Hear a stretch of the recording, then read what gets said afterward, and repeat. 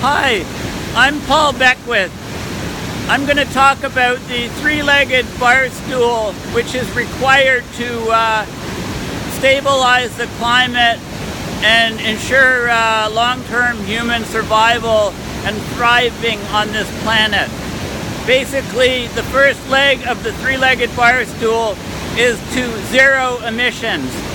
We need to initiate globally a Manhattan Marshall uh, size project, actually even larger than that. The Manhattan Project was to develop the bomb during the Second World War.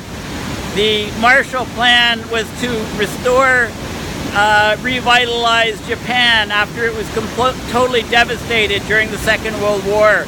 We need to initiate an emergency global project as soon as possible to remove um, to, to slash fossil fuel emissions down to zero. It's not a technological issue, it's a human will issue.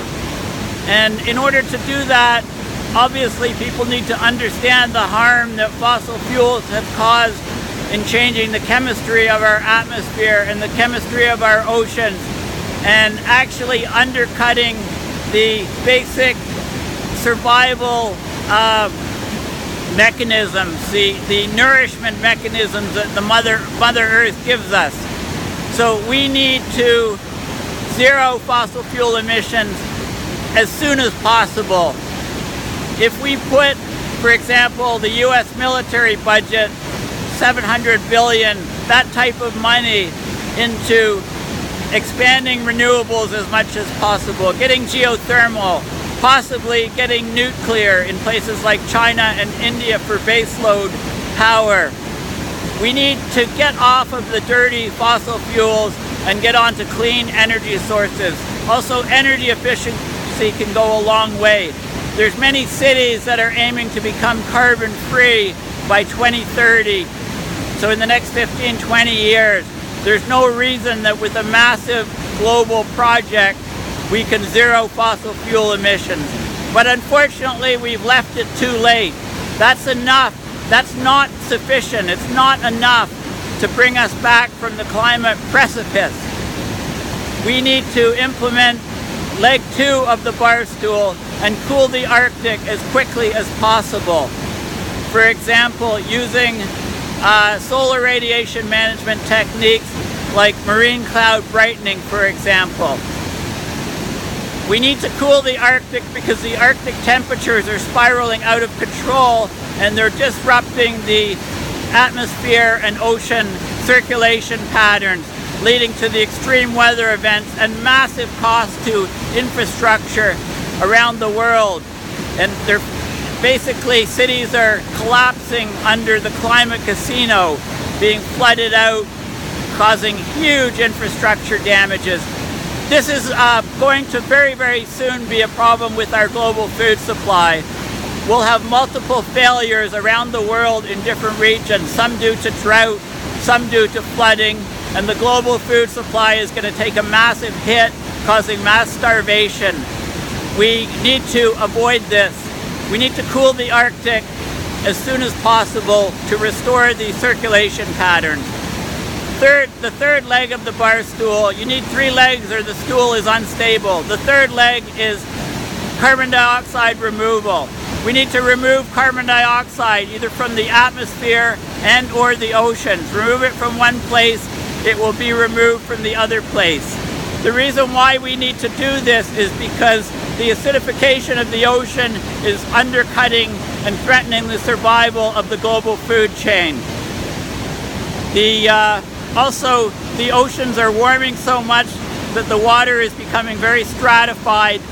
And for phytoplankton to grow, you need sunlight, CO2, and nutrients. And with stratified water, you don't get vertical mixing, you don't get nutrients at the surface, you don't get phytoplankton. Therefore, the zooplankton suffer, the small fishes suffer, all the way up to the food chain. Uh, so we're facing a marine food chain collapse Without life in the oceans, there's no life on the surface. This is an extremely grave situation. In fact, it's the gravest situation that humanity has ever had to face. And what do we do?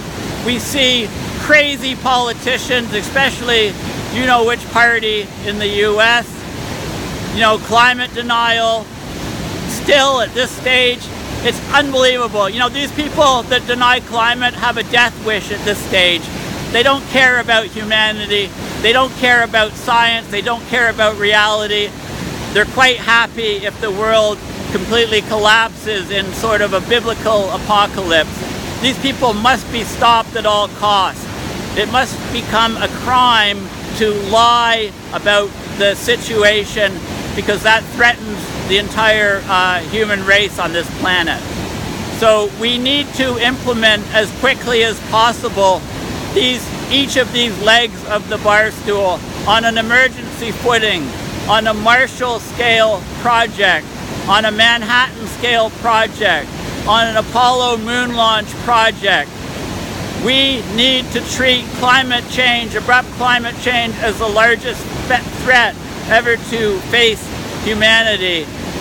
If we don't do it now, we'll be doing it in a few years when we have the first blue ocean event in the Arctic, and it may be too late to uh, stop the changes that are underway because the emissions of greenhouse gases from the earth itself will, will specifically methane, will start to dwarf all human emissions since the Industrial Revolution.